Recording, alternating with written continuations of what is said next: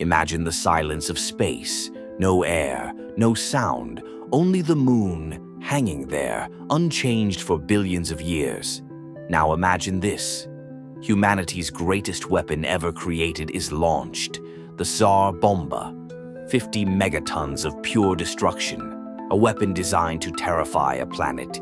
It reaches the moon, and then, nothing like what you expect. There is no mushroom cloud, no rolling fireball, no thunder, because the moon has no atmosphere. The explosion happens in perfect silence. Energy slams into the surface, rock flashes white, stone melts, dust erupts and flies into the blackness of space. For a moment it looks dramatic, but the moon does not react, not emotionally, not physically, not meaningfully. A small crater forms, a scar barely noticeable. Why?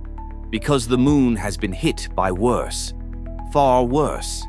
Asteroids the size of mountains have slammed into it, with energy greater than hundreds of nuclear bombs combined. And the moon is still here, still whole, still orbiting. The truth is brutal. A nuclear bomb is terrifying to cities, to countries, to civilizations. But on a cosmic scale, it is nothing. To crack the moon, you would need energy so vast that every nuclear weapon ever built, detonated at the same time, would still not be enough. The moon would not break, it would not shift, it would not fall toward Earth.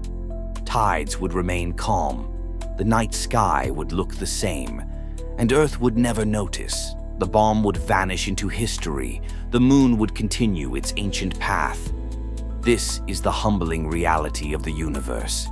We build weapons thinking they make us powerful, but when we aim them at the cosmos, the cosmos doesn't even blink.